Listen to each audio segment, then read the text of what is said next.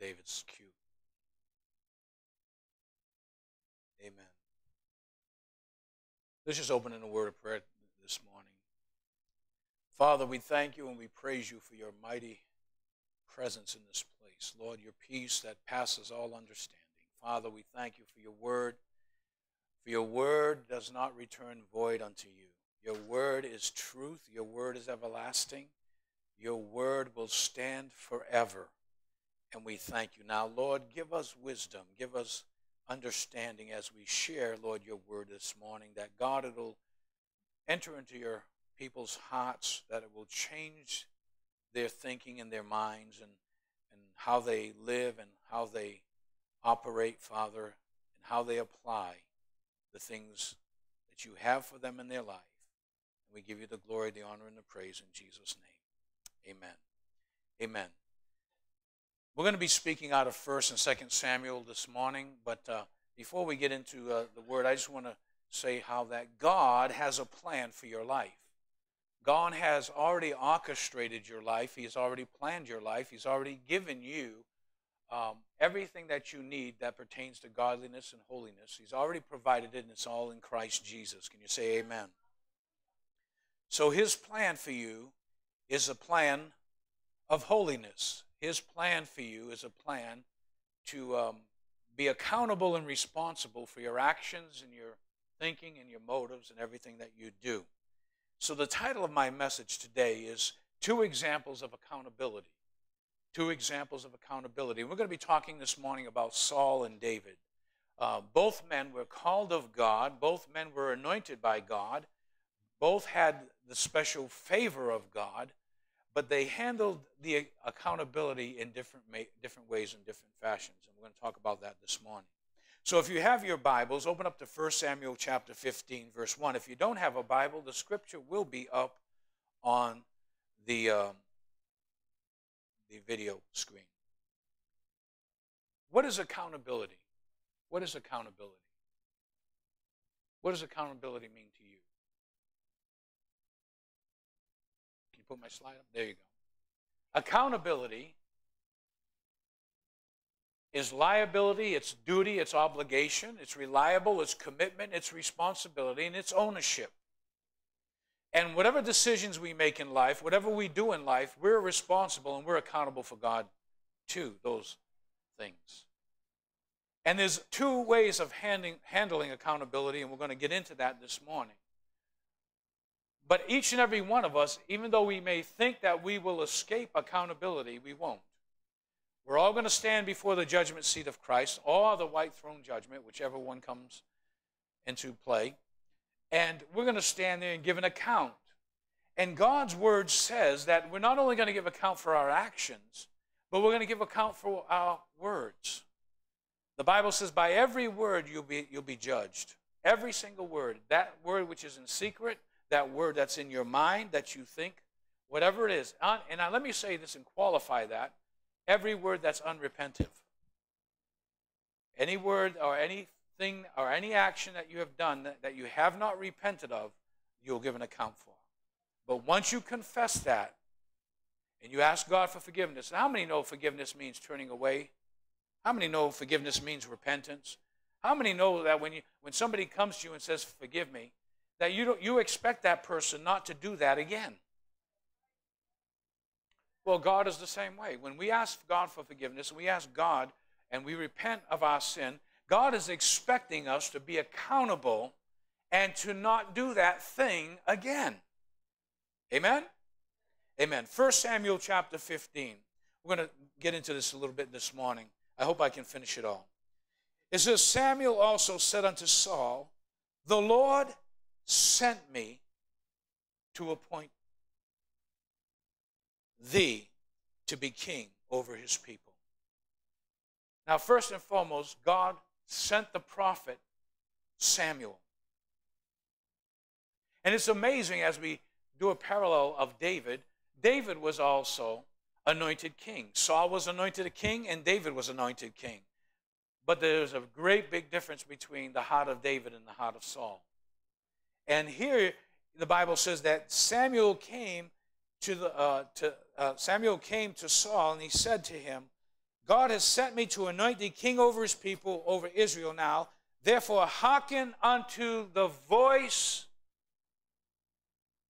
of who?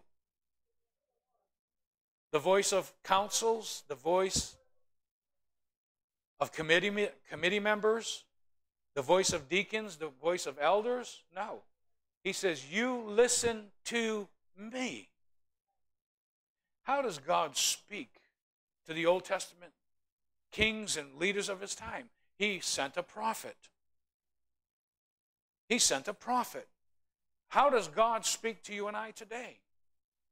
Well, sometimes he may send a prophet because there are prophets in the Bible in Ephesians chapter 4. But it's not the same prophet, it's a little bit different. The prophet that was sent to Paul when he was going to show him that he would go bound to Jerusalem was Agabus. He was a prophet, New Testament time. Don't forget that. Some people think, well, that's only Old Testament. No, God can speak through a prophet.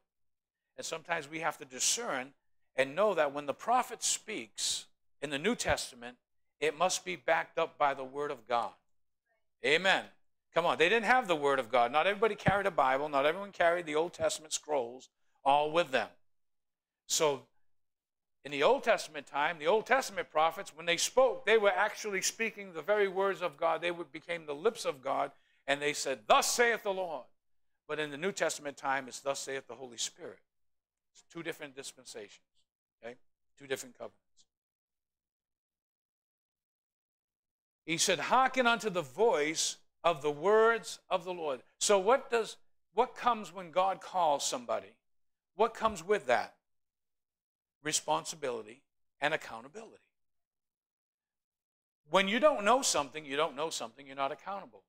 If you're driving down a, road or you're driving down a highway and there are no signs posted of how fast you can go, and say you're going 65, 70, 75, 80, whatever you're doing, and a state policeman pulls you over and there are no speeding signs, he cannot give you a ticket because you're not accountable because there's no written statement of what the speed limit is.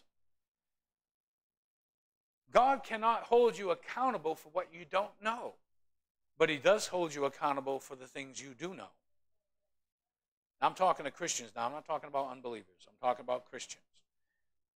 So here, God calls Samuel the prophet, and He says, I want you to go to Saul and I want you to anoint him king. And with that responsibility comes accountability. When Jesus Christ, remember this, you didn't come to Jesus, Jesus came to you. Hello. He says it in the Word. You have not chosen me, but I've chosen you. Come on, somebody. You chose him after he came to you. You didn't, when you were living your life apart from Christ, you didn't know about salvation until somebody gave you the word.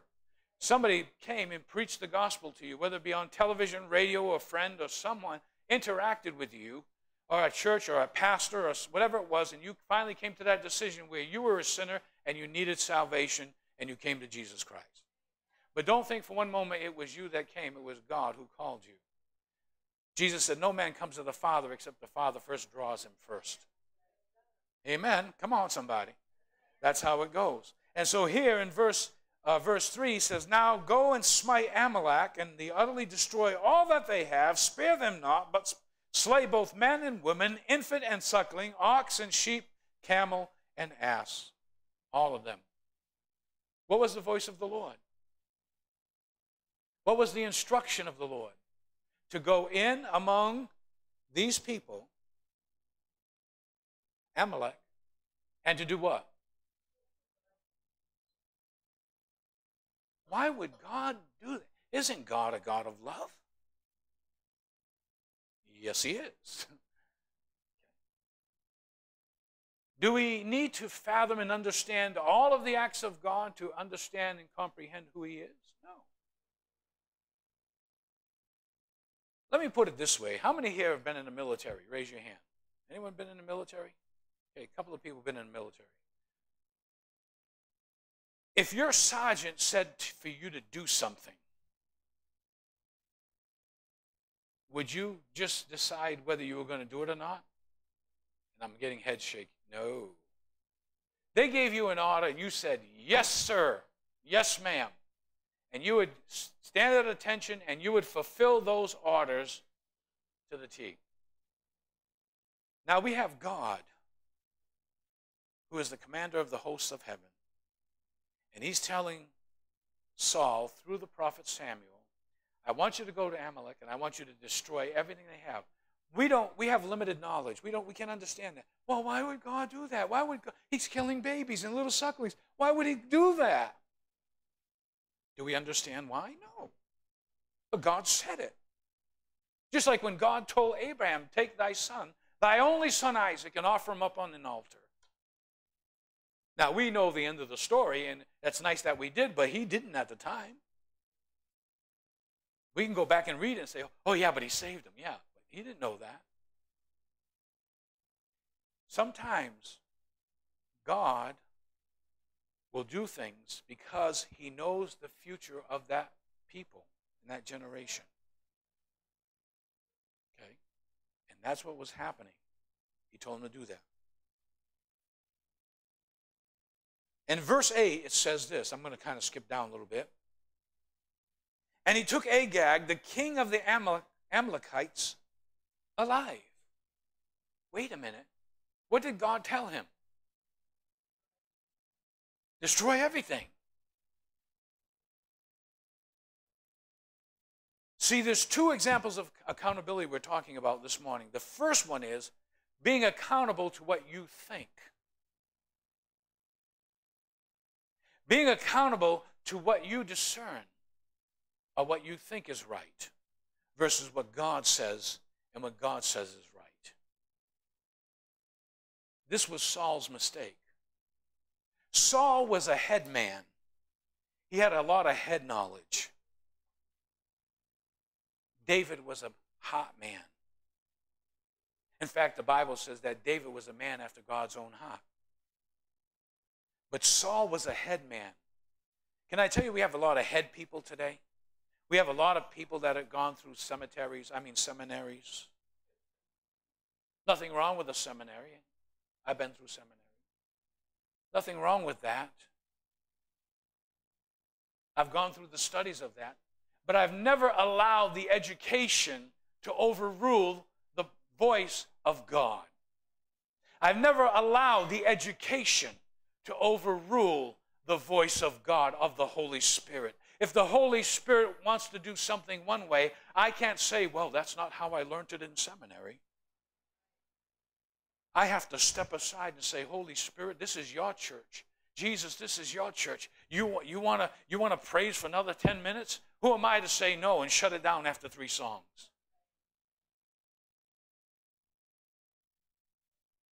Bible says, They that are led by the Spirit of God, they are the children of God. There's a pre qualifier there. They that are led by the Spirit. So many are led by the flesh. And they call it Christian. And they put a designation of a tag on it as Christian. But it's far from Christianity. It has to do, and it's all wrapped up with their own fears. He says he took Agag, the king of the Amalekites, alive, and they utterly destroyed all the people with the edge of the sword. Verse 9. But Saul and the people spared Agag, and look at this, and the best of the sheep. Hmm. Partial obedience. Partial obedience. I'm going to keep the good stuff. Why waste it? Keep the good stuff. Spare the king.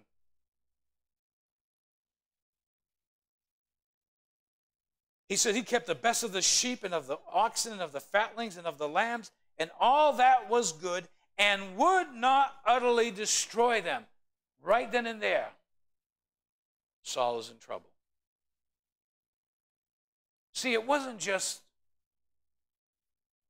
a commander in chief going to battle and just saying, you know, we're going to go and wipe them out. No, this was God. God told him to do this destroy them all. Don't take anything, destroy it. First mistake compromise. What do we see in the world today? What do we see in the church today? Compromise. I'm, I'm here to tell you, I will not compromise my Christianity or my inheritance for a bowl of pottage. Won't do it. Not for sale. I won't sell myself so I can have something else. I won't sell my heritage as a Pentecostal believer in the scriptures and a follower of Jesus Christ for the pottage of this world, for the pottage of fake religion. I'm going to inherit everything that God has intended for me. And I'm not going to deem what God has intended for me as not for today. I don't apologize for nobody. Samuel compromised his calling, he compromised his authority, and he compromised his position as a king. Verse 11 Samuel hears about it, and, it said, and God tells Samuel, says, It repented me that I have set up Saul to be king. For look at this, verse 11. For he is what? Turned back from following me. He's backslidden. He's backslidden. One thing he did, or I should say, one thing he didn't do, was obey God fully. When you don't obey God fully, you're on the road to backsliding. When you don't obey His word, you're on the way to backsliding. But yet, watch, you're going to see something here. He says, He has turned back from following me and hath not performed my commandments, and it grieved Samuel. You know, prophets are not happy when God give, has to give gives them a word to give to somebody that's not pleasant. And let me also say this. I'm sorry to say this, but I got to say this for those that are listening by Facebook. You don't have to pay a prophet to prophesy over you. You don't have to give a prophet money. And they'll use scripture and they'll use Elijah with the woman and the bread. No, I know, I know all the scriptures. Jesus said, freely you have been given, freely give. Come on, somebody. And here, he says, Look, and it grieved Samuel, and he cried unto the Lord all night. You know, sometimes as pastors, sometimes what we have to do is we have to say things, or we have to bring correction or instruction, because that's what the Bible says. All scripture is given by inspiration of God and is profitable for what? For reproof, for correction, for instruction in righteousness. Sometimes you're not going to like what I have to say, especially sometimes on a private level. But don't look just to me. Look beyond the word. Look to the words of what I'm telling you. I once was talking to a, a, a, man, a brother in the Lord, and God showed me something about his life, and I had to confront him with it. And I did. He, to my face, took it kind of nice, you know. He kind of smiled. Oh But then the following week, all that week, he was angry. He was mad. The following week, he came up and he said, You know, I can't get no peace with God until I confess this to you. I said, What's that, brother? You know, I, remember now, all I saw was. So I'm thinking he's cool. He came up to me, he said, he said I got to ask you for forgiveness. He said, I wanted to punch you right in the face. I said, It was a good thing you didn't. Because I would have turned the first cheek and I would have turned the second one. But after that, Katie by the door. Come on, somebody. Samuel cried all night. And verse 13 says, And Samuel came to Saul, and Saul said unto him, Blessed be thou of the Lord. Watch out for flattery. Watch out for flattery. People will flatter you when God gives you a word that you don't like. Watch out. That person will come flattering you.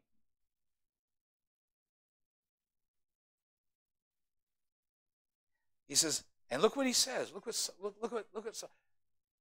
Saul says this. I have performed the commandment of the Lord. Who's he trying to fool? Who's he trying to fool? You can't fool God's servant. You can't. And sometimes God's servant won't even allow you to know that he knows.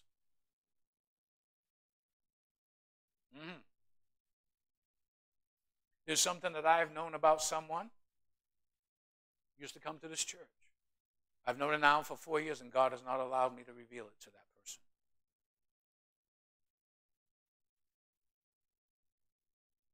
And you know, sometimes in your flesh, you just want to tell them. Say, see, I was right. God said no. Don't tell him. But if he comes and asks you, that's a different story. I have performed the commandment of the Lord. What is the one thing that you see here is wrong with Saul? In that statement, I have obeyed the commandment of the Lord. Deception. He thinks he's right.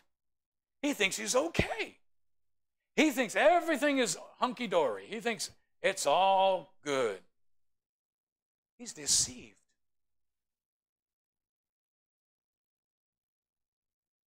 And Saul said, They have, look at this. And Saul said, They have brought them from the Amalekites. One of the things that will happen when you don't have discernment,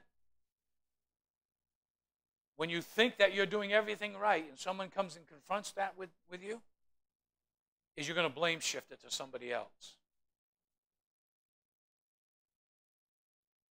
Oh, they, they have brought them from the Amalekites. For the people spared, look, for the people spared the best of the sheep. Look at verse 9. It says, But Saul and the people spared Agag and the best of the sheep. What he did was he threw the entire responsibility and accountability on the people. What does that show you? That he was proud, that he was not humble enough to admit his mistake. He, wasn't, he was too proud to humble himself and admit his mistake. So you see these emotions and these things in Saul that were always there, never dealt with. I'm going to tell you as Christians, don't let things fester in you.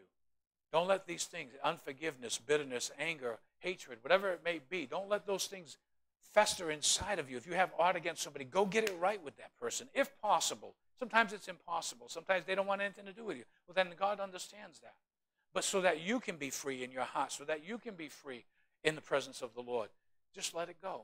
Confess it and say, God, that's it. I can't control people how they feel, their emotions, their thinking, or whatever they do. I mean, please, I have people that hate me, they don't even know me. I have people talk about me, they don't even know me.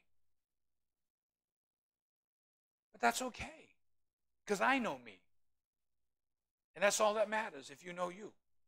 Doesn't matter. But he blamed the people.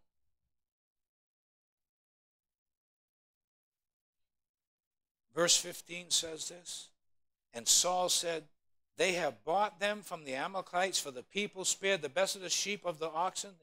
Look at this. Now he's trying to bring now he's trying to bring a spiritual principle in his disobedience.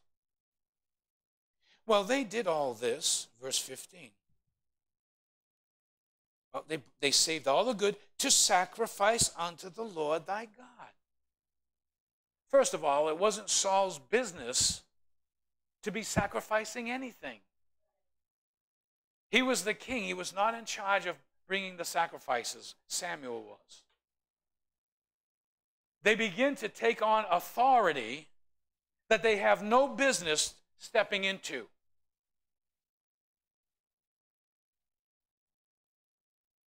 That's why I love people when they, they when I have they, they, they have their own theology, you know. And they come and try to change my theology. Or my the teachings of the word. And I say, don't give me emotions. Don't give me feelings. Don't give me what you think. Let's examine the scriptures contextually together and let's see what the scripture says. But don't tell me your opinion.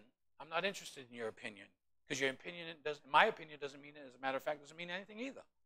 It's not about opinion, it's about what does the word say. Here, the word says that the sacrifices were to be done by the, by the priest and by the prophet. Saul had no business. But see, when you have to make up excuses for where you're not with God, when you're not right with God and you're deceived, you have to make up excuses. Oh, these people, they took it so that they could offer a sacrifice to the Lord. Isn't that wonderful? Don't you agree? Isn't that wonderful?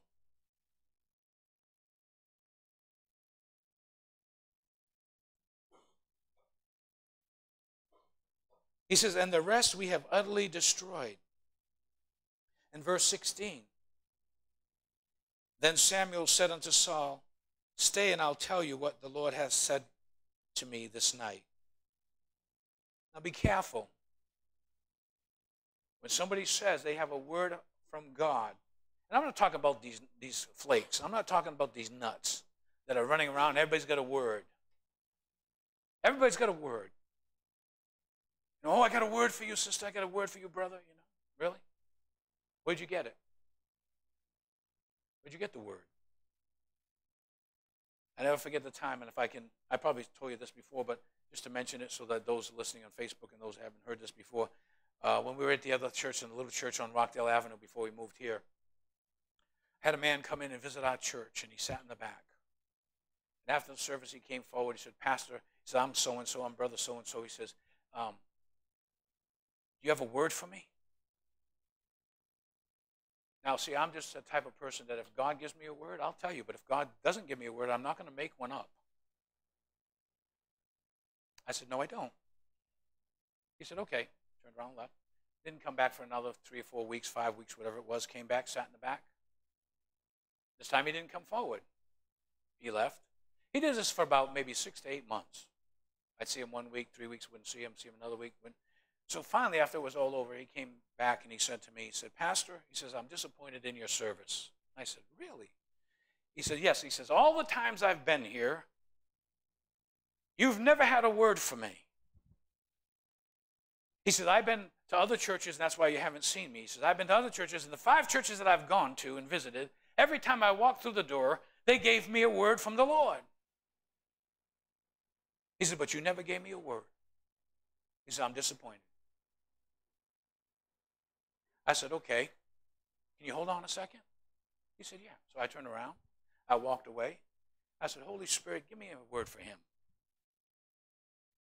And the Lord gave me a word for him. So I went back and I said, You want to know something? I said, God does have a word for you. He said, What's that? I said, On those five churches that you went and got a word from? He said, Yeah. He's all excited, you know. I said, Are you doing what the Lord, the Lord said to you, for you to do in those five words that you got? He said, No. I said, Well, here's the word of the Lord. Don't expect another word from God until you start acting on the word that He's given you already.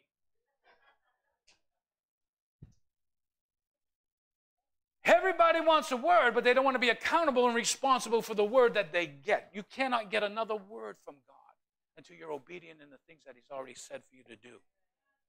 Come on, somebody.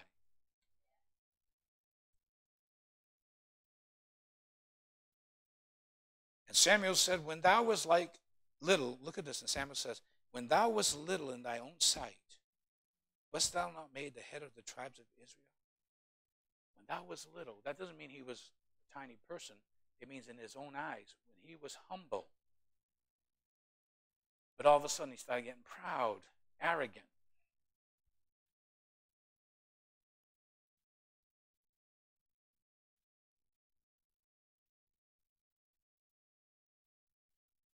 Verse 19 says this.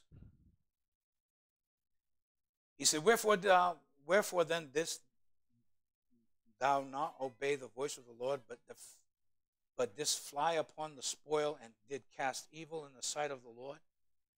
And Saul said to Samuel, verse 20, Yea, yeah, I have obeyed the voice of the Lord. Wow. Now you gotta you gotta understand now, here is a man that was called by God, anointed by God, anointed not only to be king, but anointed to hear the word of the Lord. And now he's saying, Yeah, but I obeyed the voice of the Lord. I have gone the way which the Lord has sent me, and have brought Agag, the king of Amalek, and have utterly destroyed the Amalekites. It was partial obedience. Can I tell you something? When God asks you to be obedient about something, He doesn't want you to do it half hearted. He doesn't want you to do it halfway. Either be obedient or disobedient. Pastor said be disobedient. No, I didn't. I'm telling you what Jesus said, and he said to the Laodicean church be hot or cold. You have the choice be hot or cold. For if you're lukewarm, I'll spew you out of my mouth. When accountability and responsibility comes, you must take that accountability and responsibility and, and treat that accountability the right way, not, not, not, the, not the bad, not the uh, evil way. Look what he says here. Verse 21. But the people, but the people took of the spoil, sheep and oxen, the chief. Now he's blaming somebody else for his own mistake, for his own stand, for his own walk with God. He's blaming someone else. But the people took the spoil, sheep and oxen, the chief of the things which should have been utterly destroyed to sacrifice unto the Lord thy God in Gilgal. In verse 24, and Saul said unto Samuel, I have sinned, for I have transgressed the commandment of the Lord in thy words because I feared the people and obeyed their voice. Now he's honest. Is he honest? Did he really fear the people? He was, a, he was head and shoulders above the rest. He was a warrior. Did he really fear the people, did he use that as an excuse?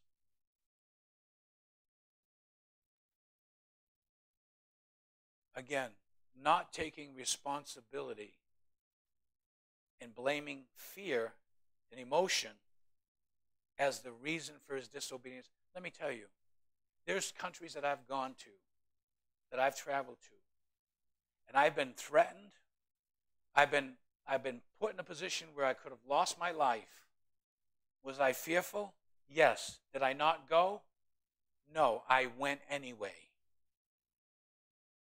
Because when you're faced with a situation and God says, go there and do this, and you go there and you start to have some opposition, don't cave in that. That doesn't change it. I can't say, well, uh, I'm not going in there. Didn't God say go in there? Didn't God tell Meshach, Shadrach, and Abednego not to bow to Nebuchadnezzar's image? How many Christians today would have compromised and they would have, they would have logically and rationally said this well, you know what? I'll bow down in my body, but in my heart I won't bow down.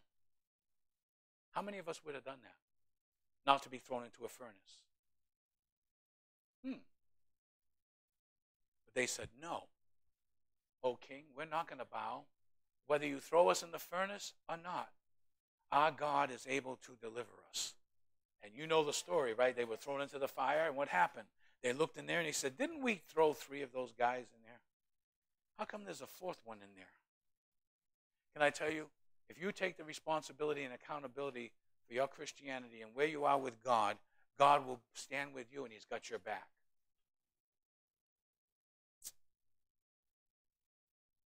Now, verse 25. Now, therefore, he says, I pray thee, pardon my sin and turn again with me, that I may worship the Lord. And Samuel said unto Saul, I will not return with thee, for thou hast rejected the word of the Lord, and the Lord hath rejected thee from being king over Israel.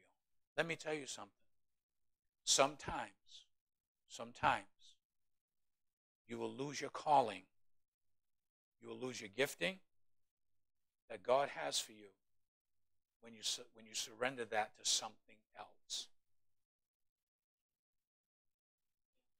Amen. That was the example of Saul. Let's look at 2 Samuel chap, uh, chapter 12 as the example of uh, full accountability with King David. 2 Samuel chapter 12. Starting with verse 1.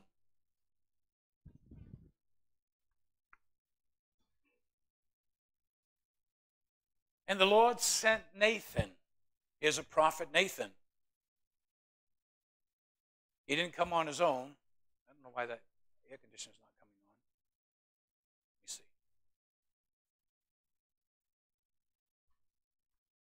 I didn't even touch it yet. See that? Okay.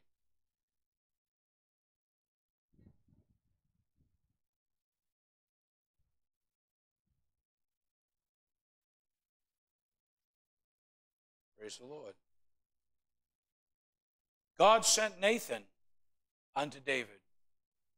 Another prophet, another king, another accountability, another responsibility. The Lord said to Nathan, to David, and he came unto him and he said unto him, There were two men in one city. Before I go on, let me say this. What Saul did was something openly. It wasn't something intuitive, intuitively that he did. It was something openly. It wasn't subjective. It was objective. He would not kill the kings and, and king, and they would not kill the children and, the, and the, all the sheep and oxen and all that thing. He, he would not do the outward. What we're about to talk about now is the responsibility and accountability of David. But what David is doing now in this situation is secretive. Nobody knows about it. So my point to you is, is that you're still accountable whether you you know it or you you know you follow what I'm saying, where you do something objectively or subjectively. Either or you're going to know. Either or you're going to know that God is going to be there. How many know that God knows when you do something secret? He knows. You can't pull the, you can't pull the wool over God's eyes. You can't pull all the shades down in your house and think that God doesn't see you. You just because nobody sees you, just because you do things in secret and you don't think anybody sees you, don't think for one minute God doesn't see you.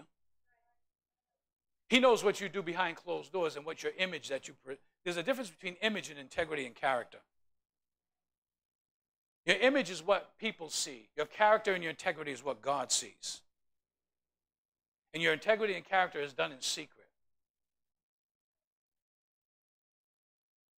Praise the Lord. So here, David is going to be talking to Nathan the prophet. Oh boy. And he came to him and he said to him, There were two men in one city. He begins with a story. Isn't that wonderful? You like stories?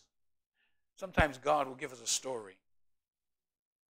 And he said to David, there were two men in the city, the one rich and the other poor. Verse 2, please. Thank you. The, the rich man had exceeding many flocks and herds. But the poor man had nothing, you understand, and save one little ewe, one little lamb, which he had bought and nourished it up, and it, get, and it grew up together with him and with his children, and did eat of his own meat and drank of his own cup, and laid in his bosom. He was to him like a daughter. Isn't that how we treat our animals too? You know, you have a dog, right? They're like part of the family, right? Right? So now what he's doing is this prophet is using a story to uh, help David to identify with this man, to allow his emotion to be involved in this man's situation. Watch what happens. And it came as a traveler unto the rich man, there came a rich man, and he spared to take of his own flock and of his own herd to dress for the wayfaring man that was come unto him, but took the poor man's lamb, uh oh, and dressed it for the man that was to come into him. Next verse. So, in other words, what he's saying is instead of this rich man coming and taking something from his flock or taking one of the other animals, he took that precious little ewe lamb, the one that meant so much to the family. What's your dog's name? Maggie. It's like taking Maggie and, and killing it. You know, he's a favorite. You know, he's the one that sits with, she, is she? She, right? Sits with you and you pet her and you, she licks on you and loves on you, you know, and takes that and kills it. Now David is enraged. David is enraged. He's angry. And he said to Nathan the prophet, As the Lord liveth, the man that hath done this thing. Now remember now, David's the king. What he says goes. You know, the Bible says that life and death is in the power of the tongue. And that's not what these cuckoos out there are making it sound like. You know, just say whatever you want to. No, no, no, no, no, no. He's talking about, because it's in Proverbs, and the king was King Solomon. And he was saying, life and death is in the power of a tongue. If the king said, kill her, no questions asked. So life and death was in the power of the tongue. David says, Whoever did this dastardly deed shall die. What are you talking about, Pastor? Let me back up a little bit. You know the story of David when it was a time of war, when he, time of battle, that the uh, kings went out to battle. He was supposed to be out to battle, but he was home goofing off. Okay, and he was he was there, and he went out on his he went out on the porch there, and he kind of looked out, and there was Bathsheba taking a bath in her home in her backyard. And the Bible says he looked upon her, and she was desirable to have. And so he called for her to come, and he was the king. He called her to his chambers. He had relationship with her. She was married, by the way, and she got pregnant. She sent a, a message to David that she was pregnant. Now, here's where David messed up, too. He said, I got to get out of this. This, this is going to ruin everything. So he began to plot, and he said, You know what? Let's call for Uzziah to come home, right? And when he comes home off the battle, he'll go into his house and he'll have relations with his wife, and she'll get pregnant, and everything will be okay. So he calls Uzziah. Uzziah comes to him and says, Yes, my Lord. And he says, uh, You know, you've been out in the battle for a long time. I'm kind of paraphrasing a little bit, but that's kind of what the story is like. He says, You know, you've been here for a long time. Why don't you go home and spend time with your wife? He says, No, Lord. How can I do that with my men out on the battlefield? And he slept at the door of David. He was a man of integrity, he was a man of character. He would not do that. Now David was all upset now. He said, Now my, my plan is not working. So he says, Ah, I know what I'll do. Calls his guy over says, Listen, when Uzziah goes back into battle, put him on the front line. David conspired premeditated murder. I mean, that's some serious stuff. Same calling, same anointing. But look at David, what he's doing. Wow. So they put Uzziah back in the battle. Guess what? Uzziah dies. So now, come back to the story. Nathan's telling them all of this thing about the little sheep and all this stuff. David's anger was kindled against the man. He said to Nathan, As the Lord lives, this man that has done this shall surely die, and he shall restore the land fourfold because he has done this thing and because he had no pity. verse 7 Thank God for a man of God. And Nathan said to David, Thou art the man. Here comes accountability and responsibility now. David could have ran. He could have made up excuses. He could have blamed someone else. He could have blamed his feelings and his emotions. He could have blamed the woman being out on the porch naked, taking a bath, you know, going into her bath. All the time. He could have blamed everything on something else.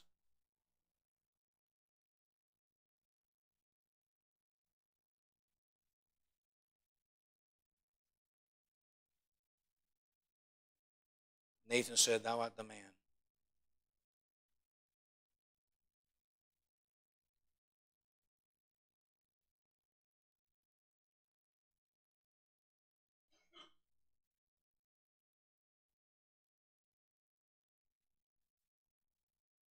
Let me just look for one minute. I want to see where that scripture is. Hold on one second.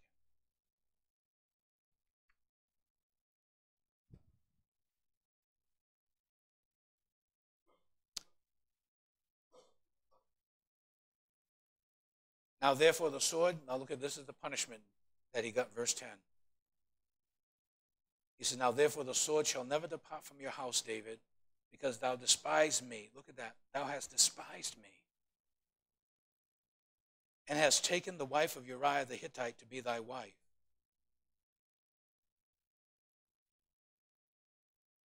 Make sure your choices are what God's choices are for your life.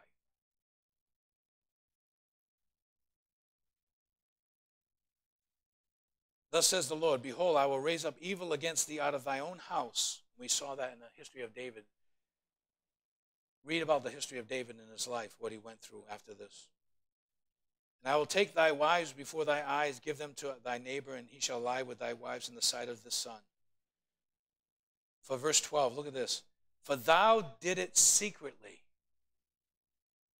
Nobody knew but David. So don't think for one minute that God doesn't know, because he does. But I will do this before all Israel and before the sun. Look at this. And David said to Nathan, David said to Nathan, I have sinned against the Lord. And Nathan said to David, The Lord also hath put away thy sin. Thou shalt not die. David took responsibility and accountability for what he had done. He didn't make up excuses. He didn't line up all kinds of things before God. He said, No, I've sinned against the Lord. I have sinned against the Lord. I am responsible. I am accountable for my actions, what I have done. So here we have two examples. One example of Saul, God gives him instruction, tells him what to do. He disobeys. It's disobedience. Did David know not to take Bathsheba's wife as his wife? Course he did. He knew the commandments. Thou shalt not covet thy neighbor's wife. He knew that. David is the one that wrote, Thy word have I hid in my heart that I may not sin against you. But yet, when he did sin, he took on the accountability and the responsibility for what he did wrong.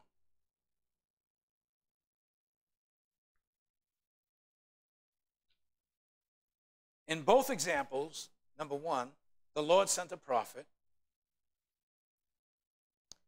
Both examples, they were to be obedient to the voice of the Lord. Both knew that they would do what they were doing. One did his deeds openly, one did it secretly. God knows both. It cost Saul everything, and he tried everything to avoid the inevitable. But in the end, he lost his life. It cost David his family peace and heartache throughout his entire life. If you read the story of Absalom, his son, his own son rose up to try to assassinate his own father so he could have the power of the kingship.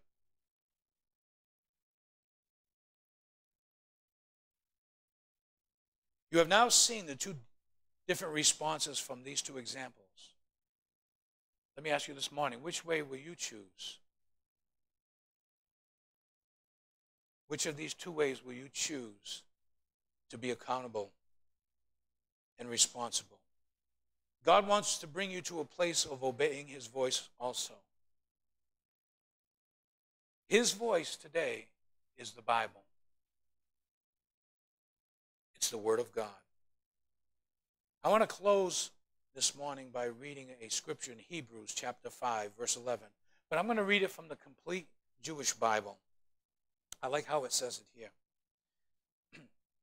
but you can put it up on uh, King James up there. Hebrews chapter 12, verse 5 to 11. Also, you have forgotten the counsel which speaks with you as sons. My son, don't despise, or daughter, don't despise the discipline of Adonai of the Lord, or become despondent when he corrects you. For Adonai disciple disciplines, I'm sorry, for Adonai or the Lord disciplines those he loves, and he whips everyone he accepts as a son. You ever get a spanking from God? Some of us are so spoiled. We need a good spanking from the Lord sometime. You know that? God does that. He corrects us, He instructs us. In verse 7, he says this Regard your endurance as discipline. God is dealing with you as sons. For what son, go, what son goes undisciplined by his father? If you're a father, you're going to give discipline to your children. Not time out. That's psychological garbage. Send your kid to his room, give him time out. He's got PlayStation, Xbox. He don't care. He'll go to his room.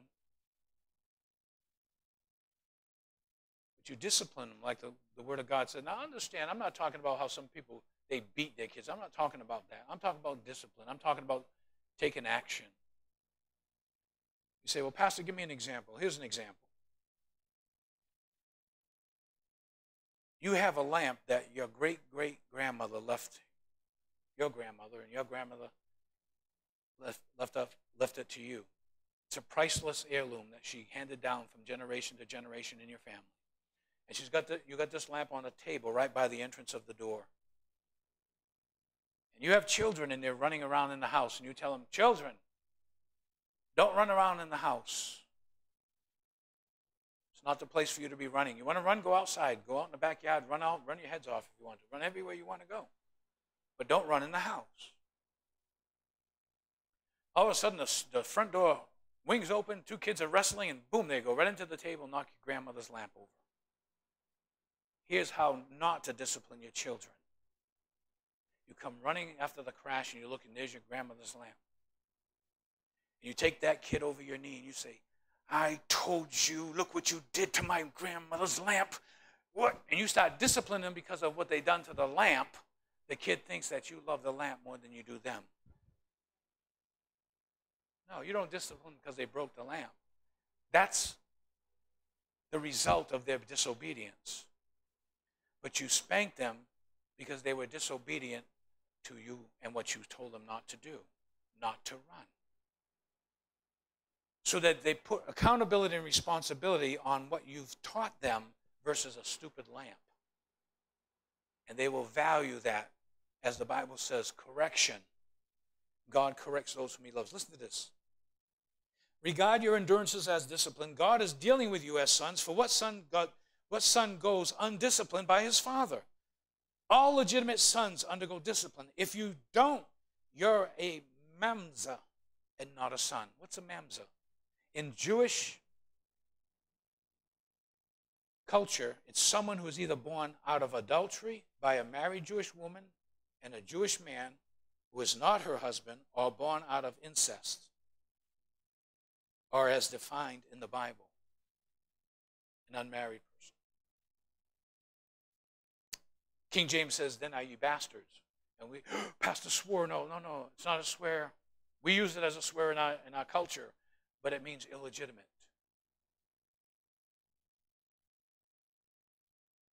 Furthermore, we had physical fathers who discipline us. I remember one time Joe's father said to me, because I did something wrong. He looked at me and said, You want trouble? uh, I said, No, no, no, no, no, no, no, no, no. Remember that? You know that look huh, you had, Joe? You want trouble? I was like, No, no, no, Mr. Fabio, no, no, no.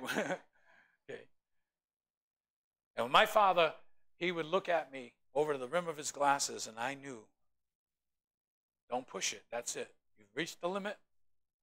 Back. Remember, Joe? My, my dad could holler, and He could scream. how much more should we submit to our spiritual Father and live?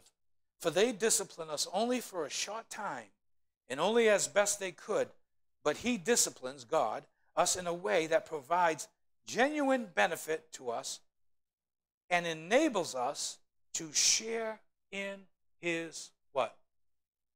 Holiness. The Bible says, without holiness, no man will see the Lord. So if you want holiness in your life, if you want the appropriation of God's holiness in your life, you've got to be chastened. Because I, I, don't think there's anybody here perfect, including me. Is anyone perfect? Raise your hand. You're perfect?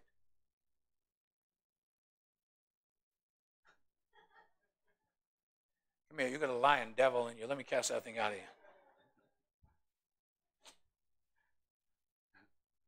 No, we're not perfect. But we move on toward perfection. Amen? The two examples of accountability one took responsibility, the other one shifted responsibility. One took the accountability of, of what he had done wrong and knew how to get right with God, made it right with God. And let me tell you this you read in the scriptures, David never did that again. He never did that again. So, taking the accountability and responsibility in your life means that when God speaks to you, when God brings a word to you, like He's brought this word to you this morning, then guess what? You're accountable. You're responsible now. To know that God is not up there with this big bat ready to smack you like he gets he gets a thrill out of, you know, discipline. No. The Bible says to obey is better than sacrifice. When you get a reward for your obedience, isn't it wonderful? But you know what? Sometimes I'm in the market and I see these little kids screaming their heads off. You ever see that? And they're crying, wah, wah, I want that toy, mommy. I want that toy, mommy. Ah, And the mother's like, shut up. Shut up. And he's still going on and on and on, shut up. And she goes over and grabs the toy, throws it in the all right, shut up, I got you the toy, all right? And it goes, and the kid goes from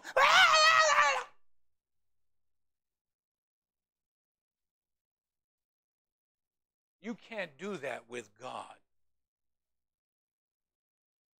Hallelujah. You can't do that with God.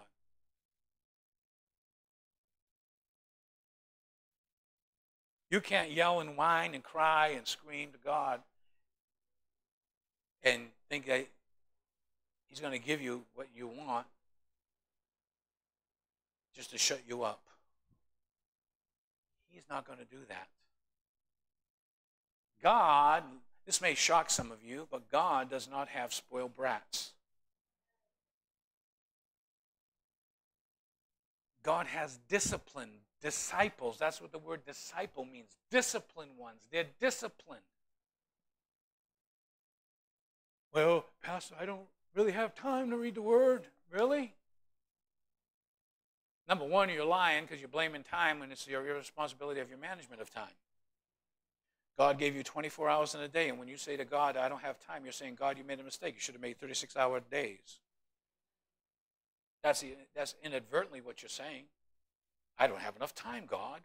Well, you made a mistake. You should have made 36 hours instead of 24. I can't do what I have to do in 24 hours. No, it's, it's the responsibility, the management of your time. Well, well, what am I supposed to do? Get up 20 minutes earlier.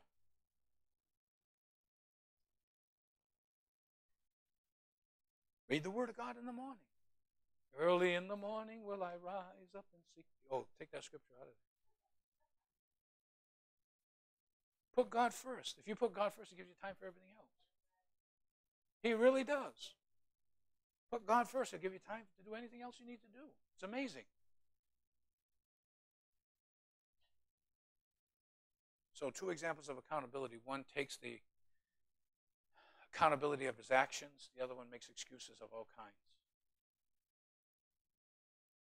So, what's it going to be for you today? Will you be fashioned after David? Or will you keep making excuses with God about your disobedience, your unwillingness to change? You want to stay right where you are. You don't want to do anything for God. You don't want to get involved in the things of God. God has great plans for you. He says, I know the plans that I have towards you plans of peace, not of evil, to give you an expected end. God has plans for you. This is a body ministry. It's not just about a pastor getting up here and speaking. We're a body of Christ, and we all have gifts and talents, and God wants to use those gifts and talents. And I keep telling you, seek God for the gifts, seek God for what He has for you. The Bible says, desire spiritual gifts, desire those gifts to be used in those gifts.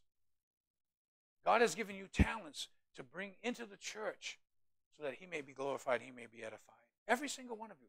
say, well, Pastor, I don't really feel that way. I don't, I don't know what my gift is. Well, ask him, he'll tell you. There's not one single person in the sound of my voice, whether here or on Facebook, that God has not a plan for you, that God hasn't got gifts for you, talents for you if you will just use them and seek Him for those gifts. And it may just be, and sometimes, you know, like uh, somebody, somebody will say, well, I, I really don't sense anything except I love to help people. That's a gift of helps. It's in the Bible. Sometimes just bringing somebody a cup of coffee. So just sometimes just talking to somebody. So just, just to encourage somebody. Give somebody a phone call and tell them, I'm praying for you. I would love to have that, but as a pastor, I don't get that. And I'll tell you why I don't get that, because everybody thinks I'm okay. Think about it, right? Everybody thinks the pastor's okay. Yeah, pastor's good, you know, he's okay. No, but sometimes I go through some down times. Amen. Sometimes I go through discouraging times. I was going through a discouraging time the other day. And someone came by the house and stopped in for two minutes and gave me a Father's Day card. They couldn't give it to me last Sunday, so they gave it to me. Said I had to rush out, but I, I want to give you this. And I, and I just said, thank you. I needed that today. then I opened it up and I got a $25 gift card from Buffalo Wings. Yay. love buffalo wings. Me and Pastor Manny, we love buffalo wings. But call your pastor. When God puts it on your heart, call me. Really and truly, I say this for all you to know. Okay? Not many pastors will give you their personal cell phone number. You have the office number, you, you make an appointment on it. Mostly everybody in my church has my cell number. You can call me anytime. As long as it's important. Don't call me 3 o'clock in the morning so you can find the scripture in the Bible. I've had people do that from Maine, and I told them when I get up there, I'm going to kill you. But something important, you can call me 24 7. My office hours are not 9 to 5. Unfortunately, a lot of professional pastors, they are. Not me. I'm not a professional pastor. And so I want to just encourage you today be a David, don't be a Saul. Take accountability. Take responsibility for what God, when He speaks to you to do something, especially from the Word, or you're confronted with something, or God knows you're doing something wrong, and that conviction, you know, how many get that conviction? You know, you just, I know I do. If I go to say something, I get convicted a lot when I drive. Because I'm ready to say, oh, you stupid. And I go, oh, Lord, forgive me, I'm sorry. Especially when they're giving fingers and doing all kinds of things to you and, you know, yelling and screaming at you, and they're wrong. They're the ones that went through the stop sign and you beep the horn and you're like, and they're looking at you. Ah, ah, ah.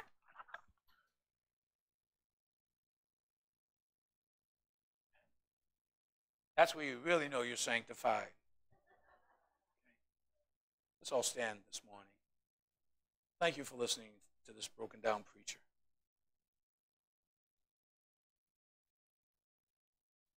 Heavenly Father, we thank you for today. We thank you, Lord, that you're, you're getting us ready, Lord, for the day of the trump of God to sound. You're getting us ready, Lord, for the second coming of your Son, Jesus.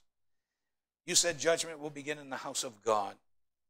And Father, you're shaking your church. I pray, shake it, God. Shake it so that we will be accountable to you. And let me just say this too. Every single person in here, you need somebody else. You're not you don't just go on, you're not just on your own. You need everybody in this church. Everybody needs you. So Father, I pray God that all of us together, functioning as the body, will complete your will, your purpose. And Lord, let love emanate from this place. Let love permeate from this place. Lord, let your people be encouraged and lifted up today with the word that God, that you want us to be right with you so that you can have a relationship with us, you can speak to us, you can mold us, you can shape us after your will. And God, we thank you for it. We thank you for the time that we spent with you today. Now, as your people go, I pray a blessing upon them, Lord. Bless their going in, their coming out, their lying down, their rising up. Father, keep them safe from all harm and danger. And we pray, Lord, that you give them traveling mercies and a good day to enjoy this day, for you have made it, and we will be glad in it. In Jesus' name. Greet one another as you go in Jesus' name. And all God's people said, Amen. Amen. God bless you.